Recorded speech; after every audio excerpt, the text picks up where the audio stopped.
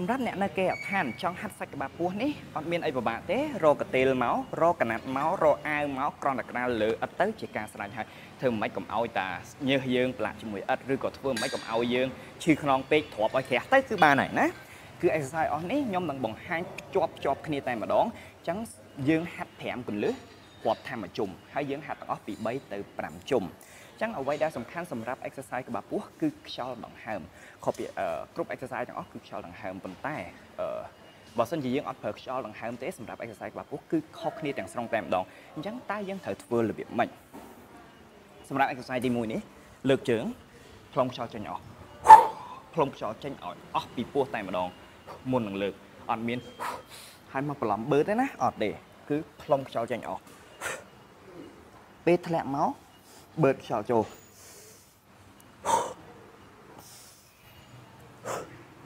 ចឹងយើងធ្វើពី8ទៅ12ទៅហើយបើសិនជា8ទៅ12យើងធ្វើយូរយូរទៅស្រួលពេកយើងឡើង15ណាអញ្ចឹងអានេះ exercise ទី1ចូលដល់ exercise ទី2អញ្ចឹងយើងអត់មានទៅណាទេយើងអត់មានទៅណាទេណាដេកចាប់អារម្មណ៍ខ្នងខ្ញុំអត់មានពើងឡើងផុតទេអញ្ចឹងតើកំហុសភាគច្រើនរបៀបម៉េចគាត់ចូលចិត្តលើកចេះ លើក leg raise លើកជើងលំហាត់ប្រាណលើកជើងហ្នឹងដែល target ទៅលើ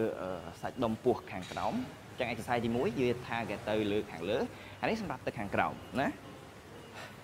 សម្រាប់អាមួយនេះដែរចាប់អារម្មណ៍ខ្នងរបស់ខ្ញុំផុតពីដីអញ្ចឹងនៅពេលដែលខ្នងរបស់ខ្ញុំផុតពីដីគឺដាក់សម្ពាធខ្លាំងមែនតើទៅលើឆ្អឹងខ្នងហើយចុកខ្លាំងមែនតើអញ្ចឹងតើអ្វីដែលយើងត្រូវធ្វើបត់ជើងចូលគៀបឲ្យជាប់ណាអញ្ចឹងយើងអត់លាទេគៀបជើងឲ្យជាប់សម្រាប់ beginner ដៃហុញហុញទៅជាមួយនឹងអត់ឲ្យជាប់ឬក៏កល់នៅចុងគូតហ្នឹងក៏បានដែរតែកន្លែងតាគៀករបស់យើងហ្នឹងកល់ទៅហើយ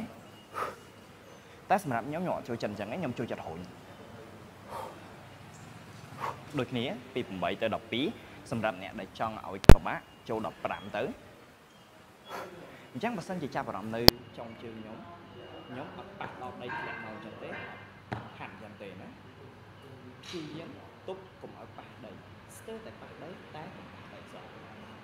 ឡើងមកឲ្យអស់យ៉ាចាំនេះ8ទៅ12 15ក៏បានអានេះសម្រាប់ exercise ទី2យើងចូលដល់ exercise ទី3ដែលមានឈ្មោះថា Mount Climber តើអ្នកទាំងអស់គ្នាត្រូវធ្វើម៉េចអត់មានទៅណាដដែល នេះយើងត្រូវធ្វើរបៀបនេះរុញដៃចុះក្រោមហើយបោះជើងមកមុខយ៉ាប៉ុន្តែយើងមិនមែនធ្វើយឺតយឺតទេ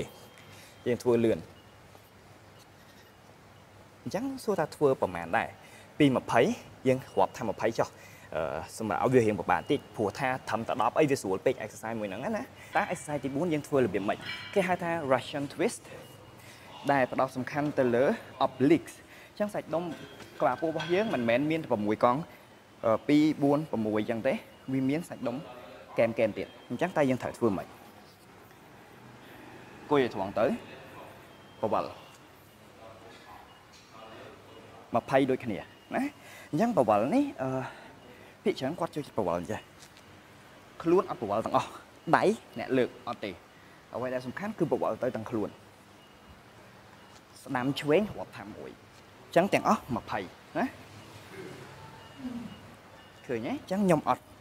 លើកតាដៃទេតែខ្លួនខ្ញុំប្រវល់ទៅអស់20អញ្ចឹងនេះជា exercise ទី4ចូលដល់ exercise ទី5ចាប់អាហ្នឹង20ភ្លាមយើងខ្លាំង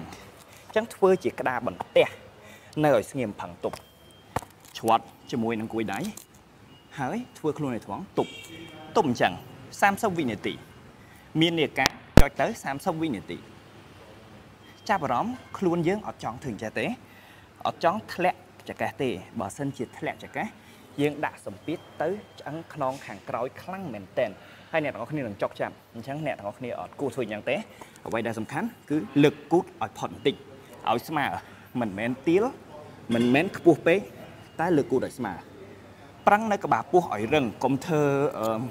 បធូរអារម្មណ៍ណាអញ្ចឹងផឹងឲ្យហឹងពេញខ្លួនទាំងអស់ផឹងឲ្យហឹង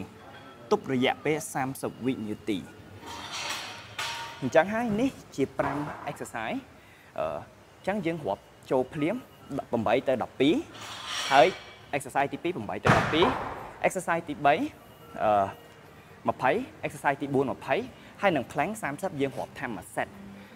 សម្រាប់យូរបំផុត30វិនាទីសម្រាប់យូរបំផុត30វិនាទីអញ្ចឹងបើសិនជាអាច5ដល់10វិនាទីយើងចូលមួយ set ទៀតធ្វើទាំងអស់5 set នៅគេដ្ឋានអញ្ចឹងអរគុណណាស់សម្រាប់ការតាមដានទស្សនាវីដេអូមួយនេះសង្ឃឹមថា5កន្លឹះនេះពិតជាអាចជួយបានសម្រាប់អ្នកទាំងអស់គ្នាដែលគាត់ចង់ឲ្យសាច់ដុំក្បាលពោះធំ